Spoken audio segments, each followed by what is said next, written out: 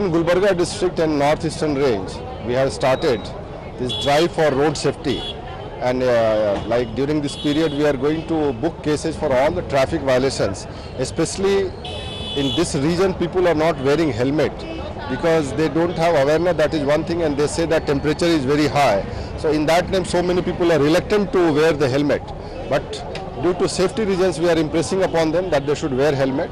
And apart from that, the drivers who are not wearing seat belt, who are not wearing uniform, who are over speeding, triple riding, then using mobile phone while driving. For all these violations, we have told that cases should be booked because the number of accidents, fatal and non-fatal, it has been alarming in this region.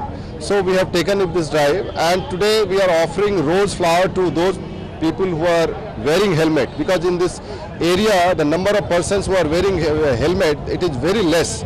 So to encourage and to recognize that they have done a good thing by follow abiding the law so we are offering a rose flower. And those people who are not wearing helmet or who are involved in other traffic violations we are booking cases against them and we are putting fine against those people